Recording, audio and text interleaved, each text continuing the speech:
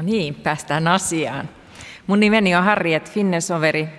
Mä oon päätoimisesti tällä hetkellä Helsingin vanhuspalveluiden eh, lääkäreiden esimies ja toissijaisesti THL tutkimusprofessorina.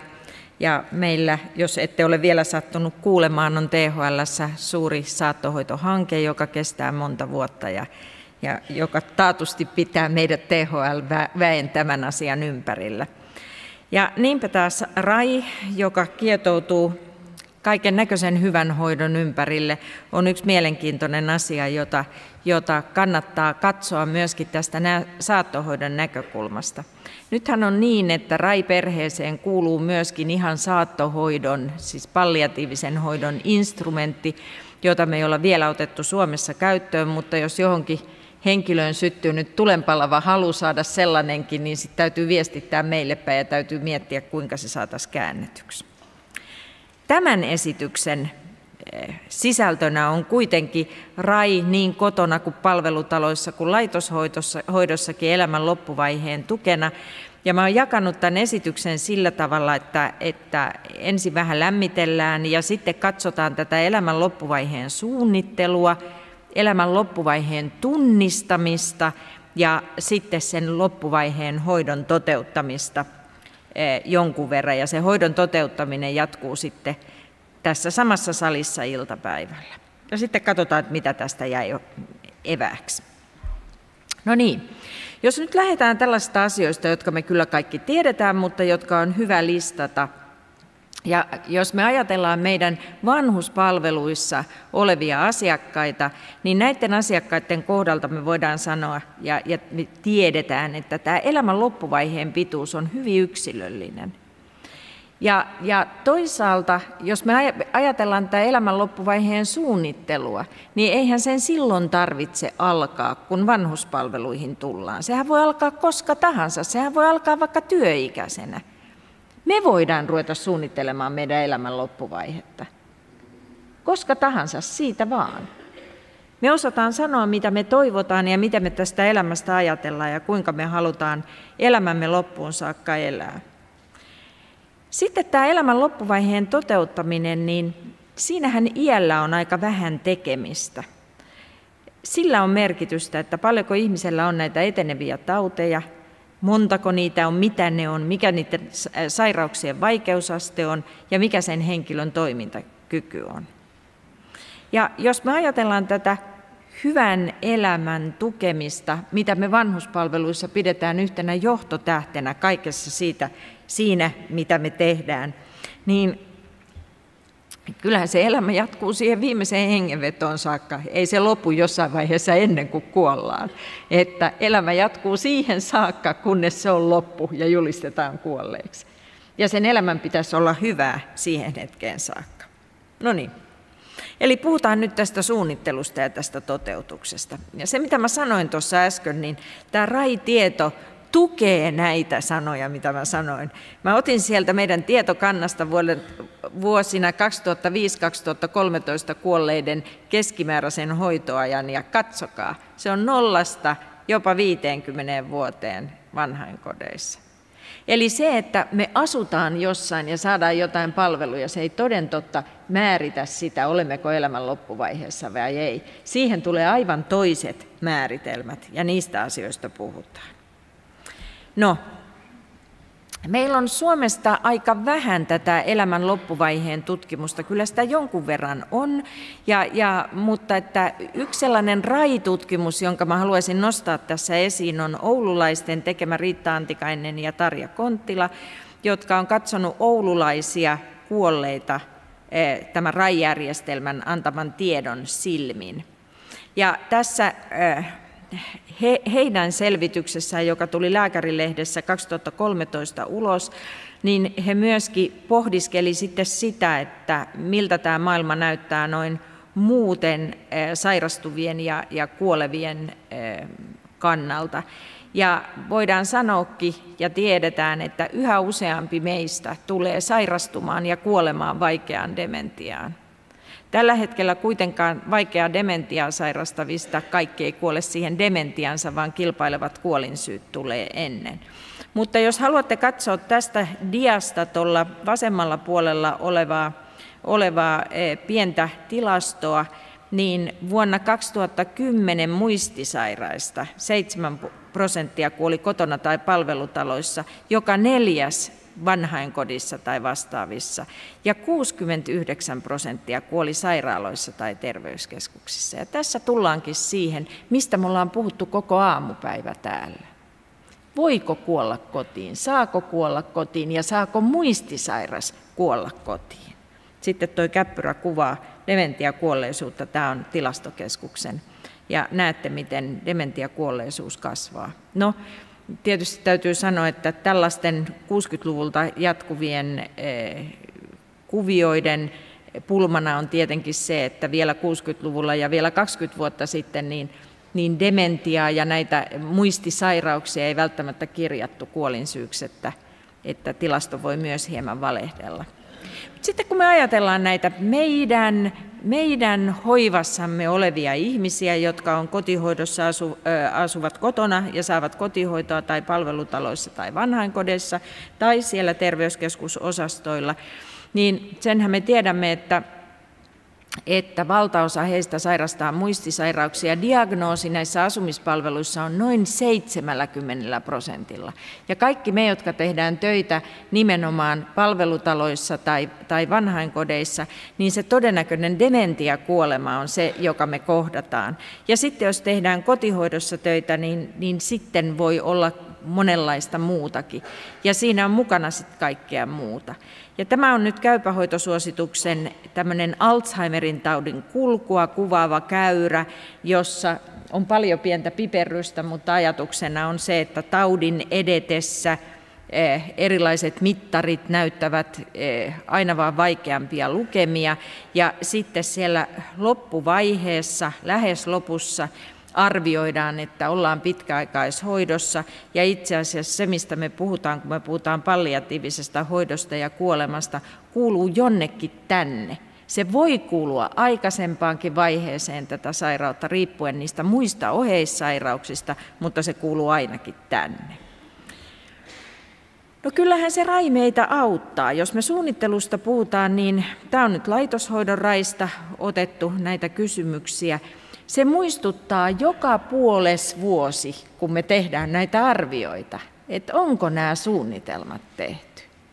Ja, ja se kannattaakin niin kuin miettiä, että koska näitä suunnitelmia ruvetaan tekemään ja ruvetaanko niitä kovistamaan niiltä meidän asiakkailta hellästi muistuttelemalla vai, vai kuinka.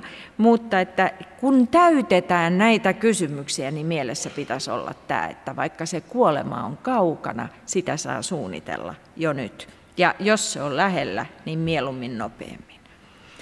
Tähän kuvaan mä olen kerännyt eh, HUSSin, Helsingin yliopistosairaala ja Uudenmaan sairaanhoitopiirin eh, tämmöisen linjauksen, hoidon linjauksen, joka on ajateltu syöpäpotilaille ja, ja palliatiiviseen hoitoon, mutta tämä käy aivan hirveän hyvin vanhuspalveluille ylipäänsäkin. Jos me ajatellaan, että, että Vanhuspalveluihin rantautumisen syynä useimmiten on yksi tai useampi etenevä sairaus, joiden johdosta toimintakyky on laskenut. Yleensä ne kriteerit kulkee niin, että siellä pitää olla se toiminnan vajaus ja sen taustalla vaikuttaa nämä sairaudet.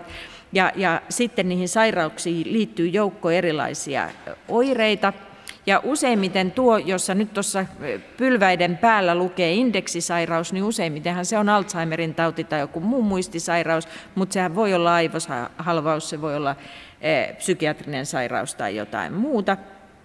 Ja silloin kun ollaan siinä tilanteessa, joka on tuo vihreä ylimmäinen ruutu, että ei ole kuolemaan johtavia sairauksia, sairaudet, mitä tahansa ne onkin, ne on parannettavissa ja henkilö kestää hoidon. Ne voisi olla vaikka jotakin psykiatrisen hoidon potilaita, taikka henkilöitä, joilla on joku vaikea trauma ollut. Heillä ei välttämättä olekaan sitä sairausta, vaan ovat jääneet ratikannalle jossakin ja jalat on poikki ja ikää niin paljon, että ei ole enää kuntoutunut, tarvitsee sitä paikkaa. Niin silloin me ollaan tuossa vihreässä ruudussa, jolloin itse asiassa riippumatta iästä kaikki akuuttihoito tulee kyseeseen.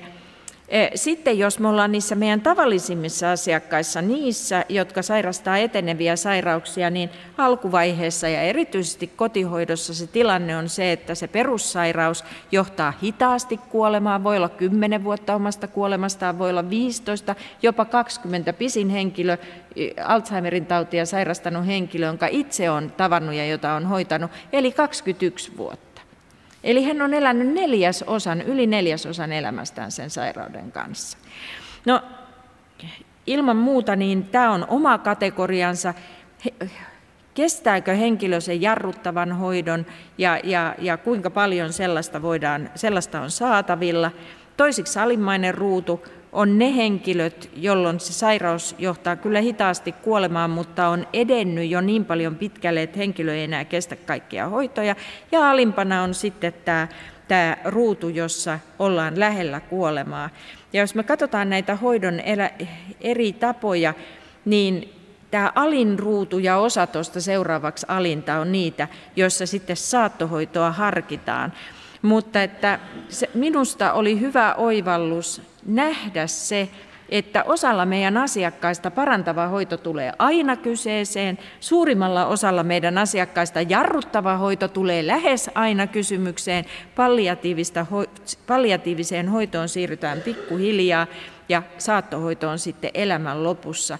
Ja Huolimatta siitä, että ruvetaan vahvistamaan tätä, tätä saattohoidon ja elämän loppuvaiheen osaamista, niin täytyy muistaa se kuntoutumisen ja voimaantumisen mahdollisuus, kun se voi tapahtua jopa saattohoidolla ja se voi tapahtua vaikka henkisessä mielessä tai vaikka vireystilana tai vaikka sosiaalisena aktivaationa, jos se kohtaaminen, saattohoitopotilaan kohtaaminen on ollut hyvä.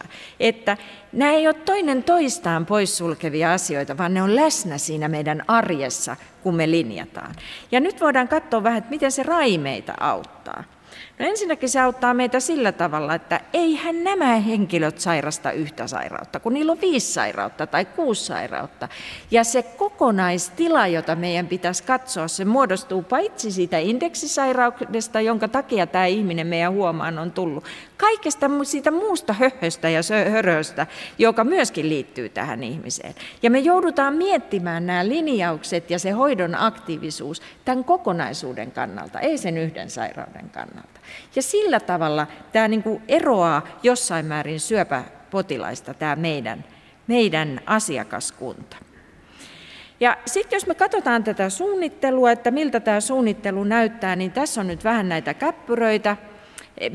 Tämä on vuodesta 2006 vuoteen 2015 elämän loppuvaiheen suunnittelu. Ja tässä on katsottu asioiden hoitoa ja 80 prosentilla eh, oli perheenjäsen asioiden hoitajana. Tätä omaa itseä on täällä myöskin jonkun verran olemassa. Ja, ja e, sitten näitä taloudellista edunvalvojaa, ja, ja, e, joka on nousussa tuolla, ja muuta edunvalvojaa, niiden määrä on aika vähäinen. Eli tässä näkyy myöskin sen, että, että, täällä on perheenjäsen voimakkaasti mukana ja, ja, ja myöskin nämä henkilöt itse on suunnittelemassa. Tuo oli sama kalvo.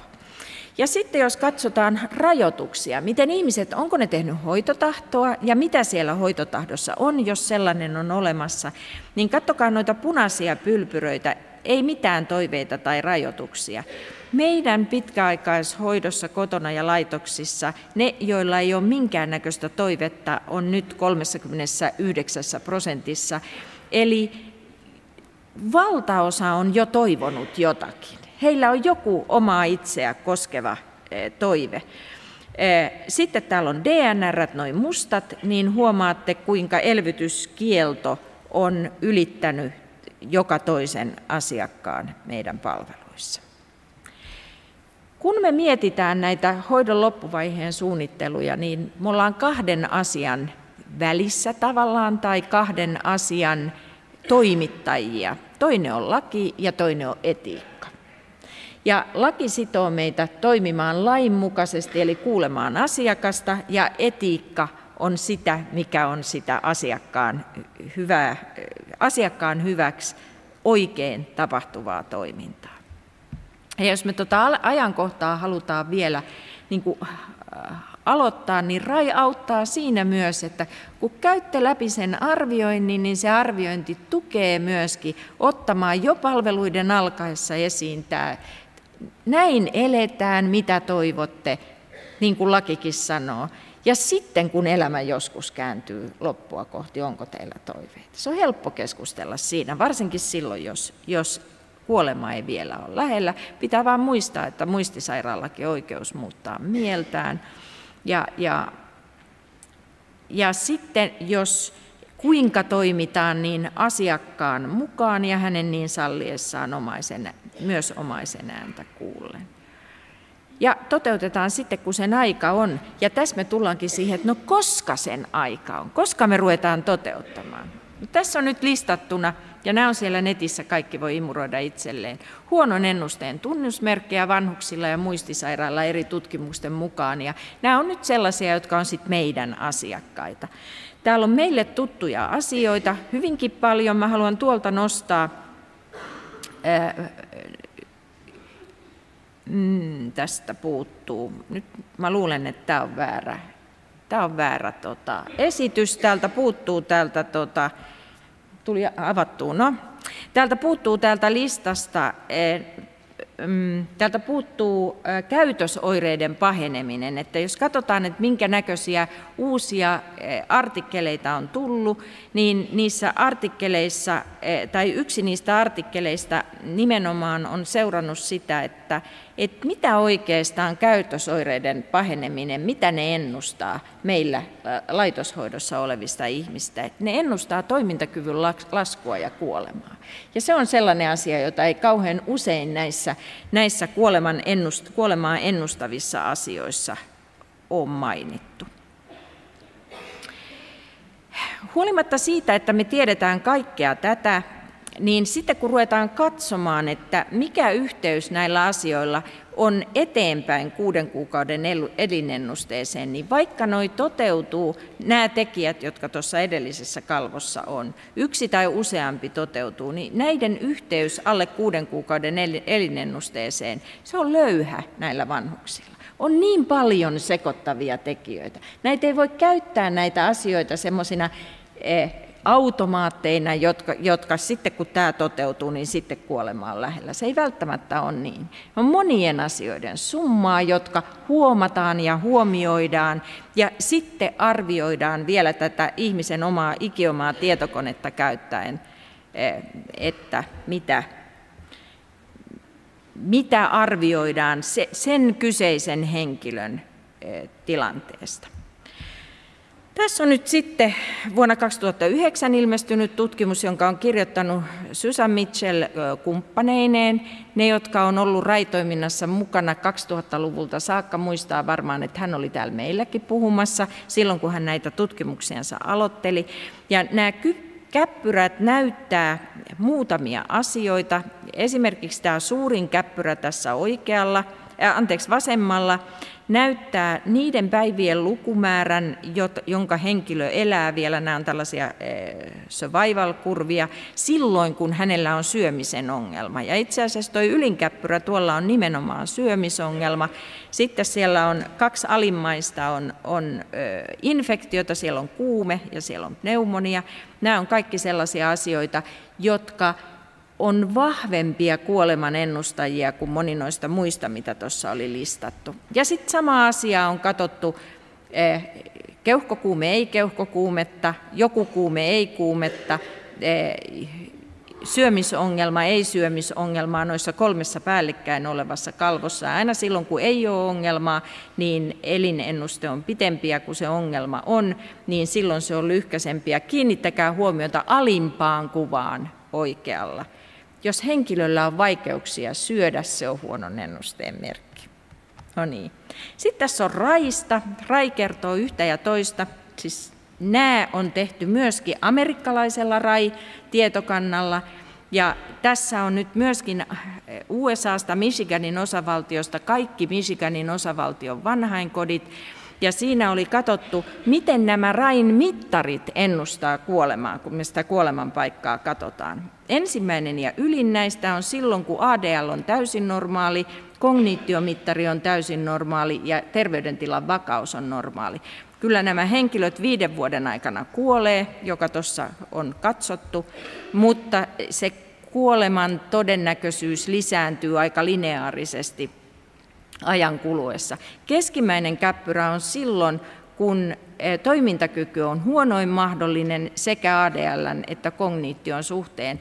Ja se lisää jo kuoleman vaaraa, mutta silloinkin, kun ADLH on 6 ja CPS on 6, eli, eli kognitio on huonoin mahdollinen ja ADL on huonoin mahdollinen, osa ihmisistä elää vielä vuosia.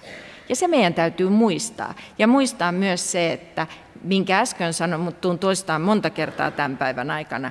Mittarit auttaa meitä ottaa esiin keskusteluja ja havainnoimaan asioita, mutta mittarin perusteella ei voi päättää, kuka on saattohoidossa. Se päätetään koko sen ihmisen kokonaisuuden mukaan.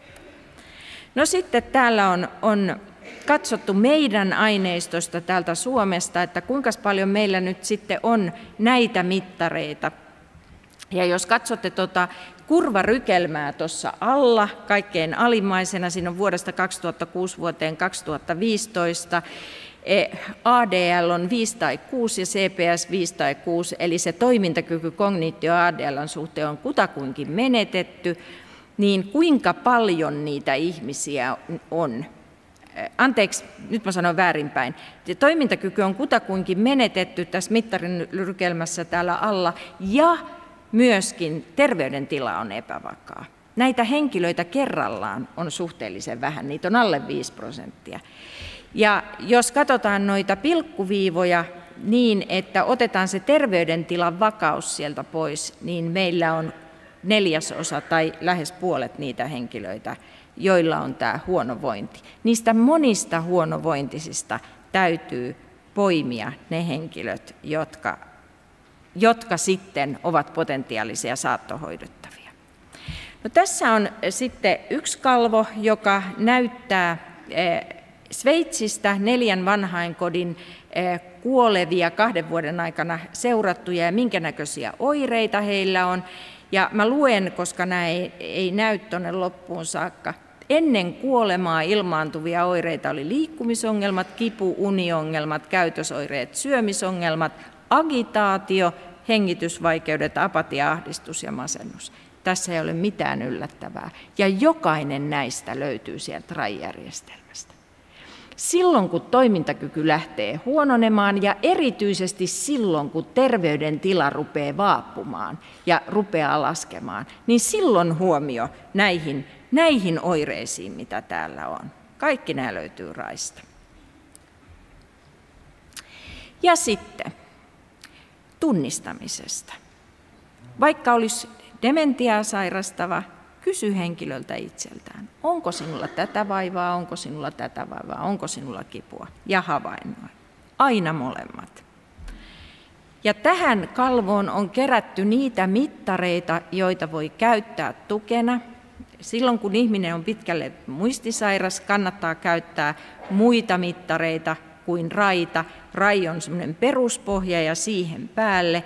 Ja sitten tässä on, on tämmöisestä 2014 Lancetissa ilmestyneestä artikkelista kipukäyttäytymisen niitä, niitä asioita, joita kannattaa seurata. Siellä on kasvonilmeitä, siellä on kääntely, ääntelyä, kehonliikkeitä, muutoksia vuorovaikutuksessa ja psyykkisen statuksen muutoksia. Nämä on ne, mitä havainnoidaan, mitä hoitaja katsoo ja sitten hoitaja miettii, että mitä siellä voisi olla. No sitten tästä oireiden hoidosta, mä en mene siihen nyt kovin paljon pitemmälle, kun, kun siitä puhutaan iltapäivällä, mutta haluan minäkin puolestani todeta, että vaikka elämä ei pitkitetä, oireet pitää hoitaa hyvin ja ne tarvittavat lääkkeet ja hoidot mietitään etukäteen. Se oli ihanaa siinä edellisessä esityksessä, että me puhuttiin tästä. Ja toistaiseksi mun ymmärrys on se, että erityisesti palvelutaloissa tähän pitää kiinnittää erityistä huomiota. Ja nämä sähköiset lääkereseptit voi vaikeuttaa tilannetta, kun näyttää siltä, että PKV reseptejä ei ehkä tuleva, lähitulevaisuudessa enää saa marraskuun alusta kirjoittaa paperiresepteille, niin siellä palvelutaloissa pitää pitää huolta siitä, että henkilöillä on voimassa olevat kipureseptit. Ja jos lähelle tullaan, niin se kipuresepti on saatavilla, eikä niin, että sitä luetaan perjantaina kello kolme tai lauantaina kello seitsemän aamuista ihmettelemään, että mistä tätä saisi. Varautuminen. Ja sitten yhteenveto. No niin. Kyllä se niin, kuin niin on, että meiltä se rohkeus edellytetään. Meidän pitää, meidän henkilökuntana pitää turvataksemme se hyvä elämä, elämä suunnitella. Ja jos se ihminen itse, niin kuin monet vanhukset, ei välttämättä halua puhua siitä kuolemasta, niin meidän pitää varautua kuitenkin. Ja meillä pitää olla se, se ymmärrys, että me nähdään koska pitää ruveta viimeistään ajattelemaan. Ja tässä ne raimittarit tulee parhaiten apuun, että ne muistuttaa meitä, kun me joudutaan tekemään niitä arvioita, niin silloin se ajatus pitää syttyä päähän, että kuka täältä on lähdössä ja, ja, ja että asioihin pitäisi puuttua. Näiden eri hoitolinjauksien rajat on häilyviä ja, ja se, mitä tässä puhutaan ja mitä me tämänkin seminaarin aikana ruveta, puhumaan, puhutaan kärsimyksen lieventämisestä, niin kyllä se kuuluu kaikkiin hoitoihin, eihän se ole kuolevien yksinoikeus. Että kyllä me ollaan kärsimyksen lievintämisen äärellä ihan joka tapauksessa, mutta kuoleviin tietysti kannattaa kiinnittää erityistä huomiota. Ja, ja tuosta viimeisestä ehkä, ehkä se, että kun lähdemme varautumaan ja kun nämä asiat tulee puheeksi, että me muistetaan, että me ollaan tiimi ja että me kysytään omaisilta, jotka mielellään kuuluu tähän tiimiin, ellei se henkilö itse ole jotain toisin toivonut, ja että me kysytään myös niiltä, jotka työskentelee öisin.